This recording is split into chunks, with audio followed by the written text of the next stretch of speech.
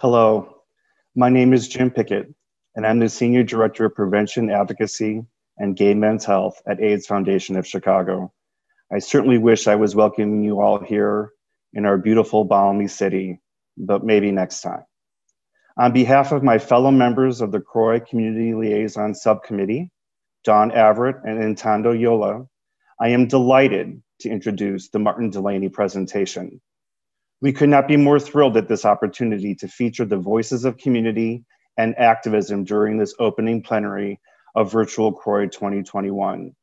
Something unusual for CROI, but something I hope we carry forward. First, I'd like to give you a little background on Martin Delaney. While remaining HIV negative himself, Martin was a prominent advocate and activist on behalf of people living with HIV, like me. He challenged the government and drug companies to expedite access to experimental treatments in the early days of the epidemic, and he helped to co found Project Inform. In a statement made upon Martin's death from liver cancer in 2009, Dr. Tony Fauci said as follows Millions of people are now receiving life saving antiretroviral medications from a treatment pipeline that Marty Delaney played a role, a key role, in opening and expanding. Today's Martin Delaney presentation features two global powerhouse activists, Fatima Hassan and Gregg Gonsalves, who will discuss the worldwide battle to ensure everyone across the planet is vaccinated against SARS CoV 2, while connecting the dots to similar struggles around ARV access. Coalitions among activists, affected communities, and scientists were crucial and remain crucial for the fight against AIDS. Similar collaborations are absolutely vital now in the face of the COVID 19 pandemic. Fatima Hassan, a South African human rights lawyer and social justice activist, is the founder of the Health Justice Initiative.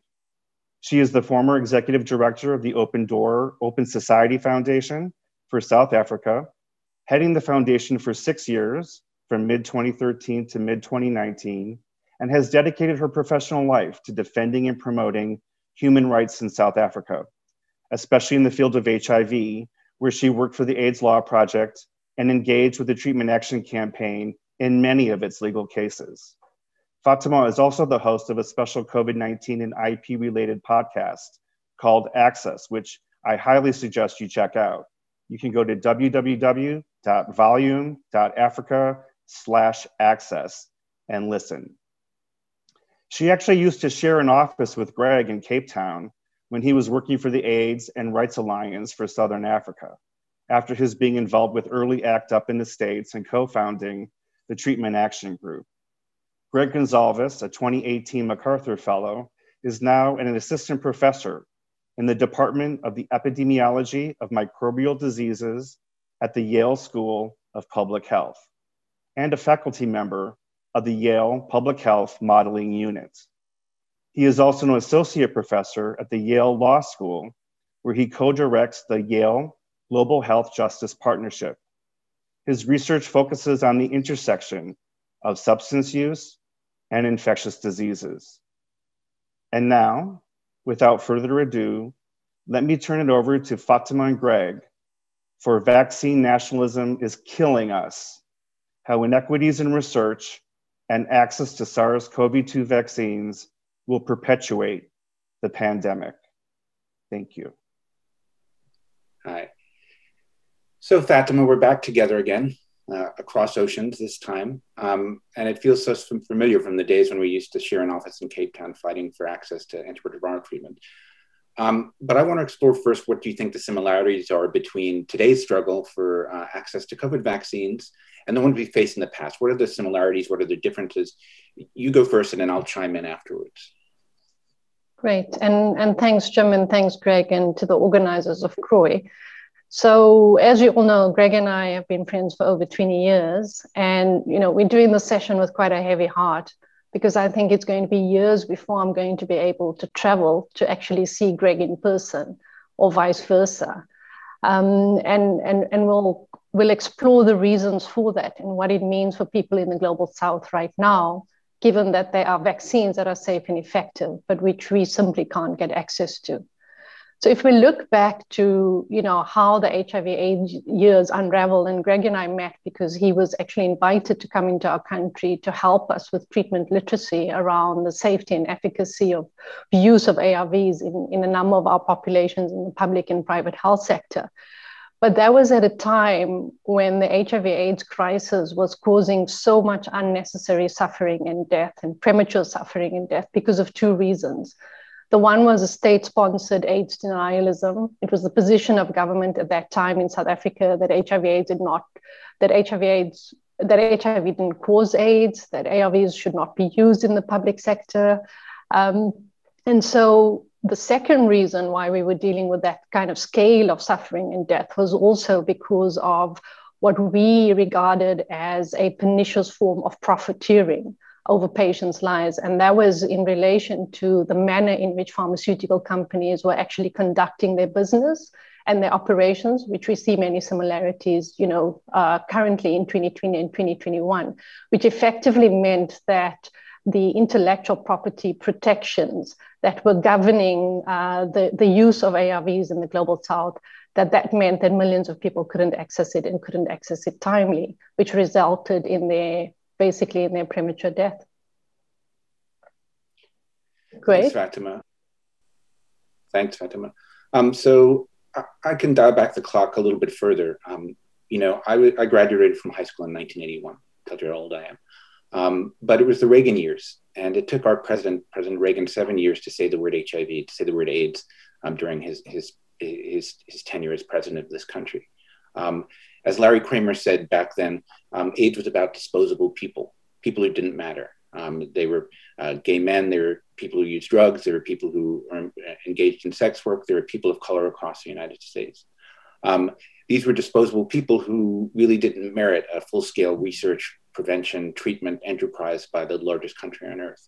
Uh, and millions uh, of people around the world suffered from, from those early decisions, which delayed the fight against AIDS uh, uh, many, many years ago now for many of us. Um, if you fast forward to the current moment, um, we see another set of disposable people in the United States. The impact of COVID 19 among communities of color in the United States is just um, horrifying when you compare it with their um, uh, European American counterparts.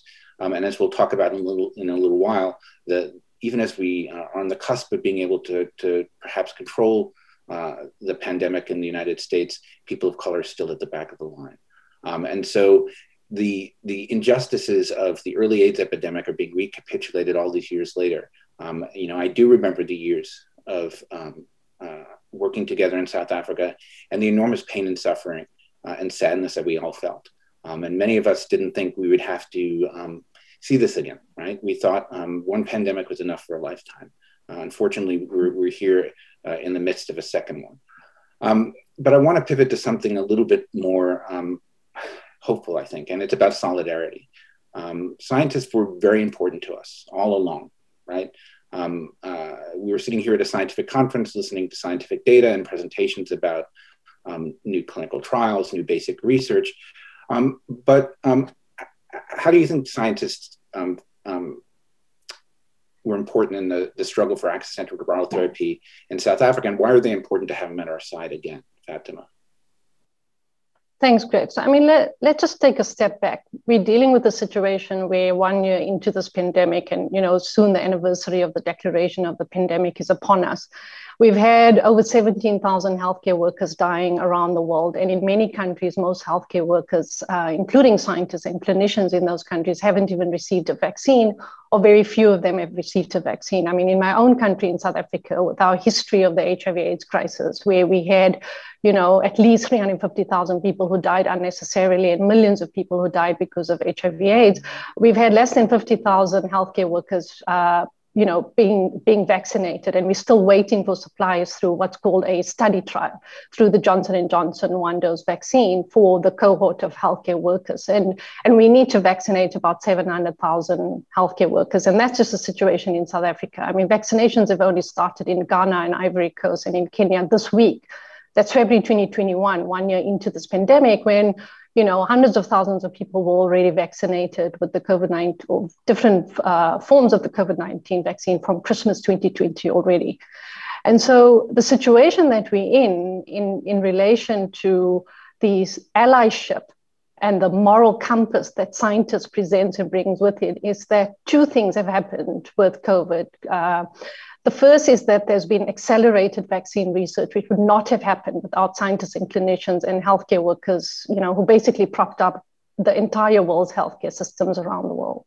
And the second is that that knowledge and data has, in this unprecedented manner, actually translated into safe and effective vaccines. And that is something that took very long, obviously, with HIV/AIDS, which is why it led to a lot of you know, um, prolonged suffering and a lot of opportunistic infections that we had to deal with, and a lot of morbidity and also mortality.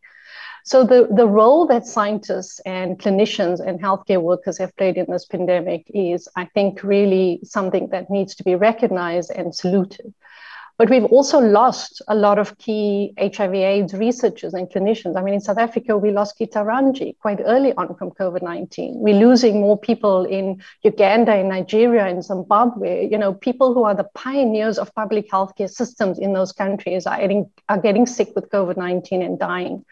One of the key things that the WHO DG has said was that we as a global community need to vaccinate in the first 100 days of 2021 all healthcare workers around the world. That is not happening. And so the similarities, and that's why we say that we're doing this with such a heavy heart. Like Greg said, we never thought we would have to deal with two pandemics in our lifetime.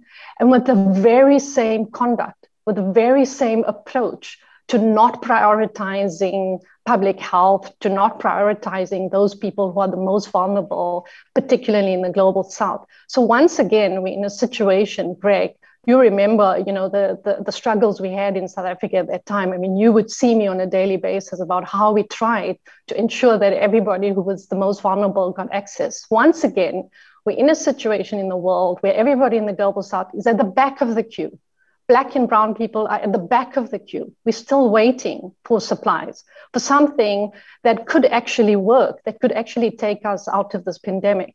So, you know, a year ago already, we said, uh, as activists who had worked on HIV AIDS, Greg, you, you were part of that, you know, myself, many others said, if you follow the same trajectory of the HIV AIDS pandemic, we're going to have an access crisis. And so here we are in March 2021, we, we're facing a global uh, access crisis. The WHO DG has called it a moral catastrophe. Many other leaders have actually called it a crisis that is unprecedented in our lifetime. Not a, just a pandemic that is unprecedented, but it's also a moral crisis that we're now facing of limited access. And it's very similar, it's eerily similar to the access battles that we had around HIV AIDS. Mm-hmm. And, you know, something's got to give. So the scientists and clinicians, to come to your question, Greg, who supported us during the HIV AIDS years, did two important things. They contributed to scientific knowledge, which they're doing right now. But secondly, they called it out. They called the nationalism out, they called governments out, they called pharmaceuticals companies out, and they insisted that there be equitable access where public health was prioritized. And I mean, many of those scientists and clinicians are actually at the forefront of COVID 19 research in South Africa, in other parts of the world as well. And so we look to them again for their leadership, for them to be the compass to shine, for example, a spotlight on the issues of inequity in relation to vaccine access for COVID 19. Greg? So thanks, Fatima.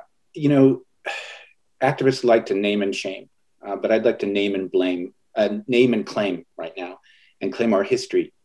Um, and and scientists have been incredible allies for us through the course of the epidemic. And I think we we should remember right now David Katzenstein and James Hakim to um, people who are well known to the CROI community who died of COVID this year, but were instrumental in, in the fight for access to antiretroviral therapy uh, on the African continent. Um, but you can go back further and further into time. Statisticians like Susan Ellenberg and Victor De Gruttola, who introduced many of us to the ACTG through the statistical working group, Judith Feinberg and Bill Powderly, who took up the fight that we uh, launched for uh, treatment and prevention of opportunistic diseases way before highly active antiretroviral therapy for ART. Um, even even more um, recent examples um, of John Moore and Nicolene, uh, uh, John Moore and Bette Korber in the United States working against AIDS, AIDS denialism both in South Africa uh, and across America. And, and in, in, in the most recent years, people like Rochelle Walensky, our new CDC director, who spoke out against um, price gouging for PrEP uh, by Gilead and, and, and other pharmaceutical companies. So scientists have been there all along in, in the fight against HIV. And it's not a coincidence that the voices that you hear uh, now in the United States and around the world are the same voices. Carlos Del Rio, Marc Lipsitch, Rochelle Walensky, others um, who have basically stepped in where governments um, have failed us and uh, taken up not just the scientific challenge, but the, the challenge as global citizens to figure out how to deal with this new crisis. Um, we'll talk about what we can all do um, moving forward together as a scientific and activist community. Um, but I want to pivot now to how the current global order is failing us. It's creating disorder. It's ruining lives. It's giving the virus the upper hand. And there are institutions that were supposed to be here to, to make things better. COVAX, the ACT Accelerator, the World Health Organization, the WTO. Fatima, would you like to sort of um, start off and talk about how some of these institutions are dragging us down and making things worse at the current moment? Thanks.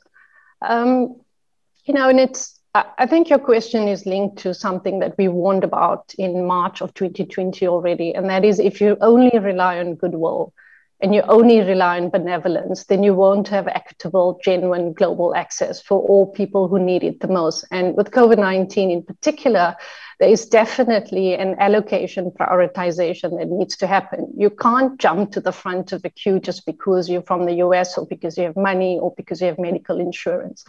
So the issue around equitable access was something that had partially seized some of these institutions' uh, sort of mandate uh, from around mid of 2020. But already by late 2020, organizations such as Oxfam and Human Rights Watch had been tracking the number of bilaterals and the potential for these so-called global mechanisms to address equity, to actually provide the necessary supplies to the whole world, and warned already from September and October of 2020 that there was a uh, you know, massive buyout of supplies or what we call pre-commitments through advanced market commitments, as well as uh, purchasing some of the supplies in what's called COVAX, which is meant to be the mechanism that is supposed to address some of the needs of middle income and low income countries through a you know quite a complex funding model. And and we have our own views about covax many organizations such as msf my own organization have argued that it's not transparent it's not accountable and that it's actually perpetuating the inequalities because it allows rich countries to get to the front of the queue within covax as well as to get to the front of the queue around bilateral supplies so the situation we had, Greg, in the beginning of January was very similar to the HIV/AIDS situation. The vaccines were where the people were not, and the people were not where the vaccines were. And so healthcare workers, as a result, in the global south, were not receiving any vaccines in early January, while many countries, or what we call the wealthier nations, had actually started vaccinating large parts of their population. So, you know, I think that's the situation we have where the mechanisms that were created to try and address equitable supplies and equitable access and equitable allocation have now uh, basically admitted that there is a supply crisis. We believe that that supply crisis has been self created because there hasn't been a sharing of knowledge. So, all of the scientists, all of the healthcare workers that work so hard to accelerate vaccine research, that research is being hoarded, it's not being shared on a widespread basis. And without the you know, transfer of the technology and without the transfer of the vaccine know how, you basically can't have a people's vaccine, right? You can't scale up manufacturing for the whole world for everyone who needs a vaccine immediately. So where we're at is that COVAX has indicated um, through its own forecast, through its own predictions, that because of the supply shortages that we are facing, they are only likely to cover about 27% of vulnerable populations in low income countries by the end of 2021. This week, the WHO indicated that while some supplies have started arriving from COVAX for some countries in Africa, that's only likely to cover 2 to 3% of those populations by the first quarter of 2021. So we have a severe crisis. The, the second way in which you can access vaccines is obviously through direct engagements with certain companies whose vaccines have been regarded as safe and effective or have emergency use authorization. And I mean, Greg, you can speak to this because you know the data much better and how sort of their data is being interpreted for a country like South Africa with, with, with the variants that are now uh, emerging and, and, and the way in which the virus is mutating. Um, and in respect of bilaterals, again, there's limited supplies. A lot of the dosages have actually been promised to some of the richer countries. And that's what we mean by vaccine nationalism. The world engaged in nationalistic behavior towards the later part of 2020 and early 2021. We call it hedging your bets, where you're trying to get supply from as many different sources, with the result that many countries, over 130 countries in the global south, have very limited access to vaccines and in the absence of an urgent scale up of manufacturing, manufacturing that Tony Fauci has spoken about, that uh, the WHO DG has spoken about, that the Vatican has even spoken about, you're basically not going to achieve widespread immunity and widespread immunization in the world for at least another three to four years, which, you know, you as, as scientists and as clinicians, you all know what the public health consequences of that means. Greg? So um, you know, one thing that's emerged over the past few months is the um, emergence of variants from all around the world. Um, and uh, as someone who was trained late in life in evolutionary biology, it's it's not a surprise to me. If you let a virus um, uh, replicate uncontrolled, um, over time it's going to accumulate mutations and mutations that confer uh, better fitness uh, than wild type. And we've seen it with the B117 variant, which is which is rising to take over populations in, in the UK and Europe and now in the United States. But the point is, is that vaccine nationalism isn't just bad from a humanitarian or moral sense. From a public health sense, it's a catastrophe. Um, because if you vaccinate one part of a population um, and you leave the other unvaccinated, it just leaves variants to spread. Um, and you know, and whether we're talking about our two countries, Fatima, the United States and South Africa, or within my own country, um, the the vaccine uh, distribution plan in the United States has been wildly skewed uh, against communities of color who have been unvaccinated in, in all 50 states, less than their than their white counterparts. And so we're basically going to be chasing variants for, for, for the foreseeable future until we get vaccination out across the world, um, not just as a matter of um, uh, moral imperative, but a, a, epidemiological imperative too. Um, what's interesting is that um, while activists and scientists have been calling for scale up of, of um, the, the production of vaccines, James Krellenstein and Peter Staley, well known to AIDS activists, um, along with Wafa El-Sadr, well known to the CROI community and a physician researcher at Columbia University, called for President's emergency plan for vaccine access and relief in January uh, in the New York Times, saying we need to scale up M- mRNA vaccines. Um, interestingly, Tom Frieden, the former CDC director, just a few days ago made uh, uh, the same um, cri de uh, for scaling up mRNA vaccines, along with Marine Buissonniere, who was former MSFer. Um, and so the, the, the path is, is being laid out in front of us we can scale up vaccines together um, to cover the entire world. And we can do it at cost and we can do it fairly. Um, but the current institutions are basically failing all of us, right? You know, it's not okay to say we're gonna we're gonna cover 20 to 27 percent of people within the next 12 months outside of the rich countries of the global north. Um, it doesn't make any sense scientifically, epidemiologically, or morally. And we've got to hit a reset button right now, right? Some people have said uh, um, uh, uh, that we don't have capacity to, to make more mRNA vaccines right now. Well, we could probably scale up mRNA vaccine cover, uh, production over the next 12 to 18 months um, if we start now, right? It's not impossible. It, it, the cost of it will, it will be dwarfed by the current um, COVID relief bill we just passed to Congress. Um, and so we could set up programs now to scale up vaccine um, uh, production across the world, enable technology transfer to, to, to, factories and manufacturers in the global south who are willing to supply for their regions. Um, there's a path forward that leads us out of this crisis, um, but our current global institutions are failing us and they need to do better. Um, Fatah, I wanted to, uh, before we talk about but what Craig, can, you know, uh, I mean, that's such an important point, and and why are we surprised? This is the same you know situation that played out with hiv aids about who gets to the front of a queue who gets preferential access when transfer of technology takes place where drug companies in my view play god. And and once again we're in a situation where drug companies are playing god in a pandemic. I mean you talk about the mRNA technology that was co-developed and co-funded by the NIH in the USA. There's other vaccine technologies that were co-funded and developed by, by the UK government, by the German government. I mean, these governments have to march in, right? They co-own this. The public co-owns this technology. This technology should not be hoarded. Uh, the governments need to step in and insist on technology transfer. We're still waiting for voluntary cooperation. I mean, you know, it's only recently that Dr. Tony Fauci and the WHO has actually said we need a relaxation of the patent regime. This we are in a moral catastrophe. This is a crisis it's unprecedented the, the, the scale of the havoc that is being caused in the global south, not just the socio-economic crisis, but the strain on healthcare systems, the interruption of ARV and, and, and TB services, the repressions, the multiple lockdowns. I mean, you know, there is a scale of, of uh, moral responsibility and also, you know, obviously legal responsibility. The trade rules allow this, these kind of measures, but we, we are just surprised that governments, once again, I mean, our, for example, our government never issued a compulsory license or took compulsory action against drug companies at the height of the HIV AIDS crisis. We thought it would do it in this pandemic, and it hasn't.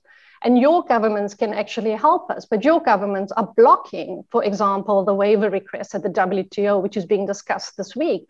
So I think that it's not just the drug companies that are culpable and that are going to be responsible. When, when the books of this pandemic are written they will all be listed in there. But it's also your government my government you know every single authority that is not willing to take on systemic power that says to drug companies and shareholders and CEOs it is not okay for Black and Brown people to have to wait for vaccine access when there are at least five vaccines that are considered safe and effective for human use. It's not okay for healthcare workers in parts of the global south, in fact, in many parts of the global south, to be still waiting for a vaccine. That is just unacceptable. And the scientific community, you know, like they did with HIV AIDS, they marched with us. Professor Linda Gail Bekker, Glenda Gray, James McIntyre, all of the people who are well known to the CROI community, Dr. Francois Venter. These are the clinicians who are our experts in all of our cases, and they marched with us in the streets. They participated in civil disobedience because we have to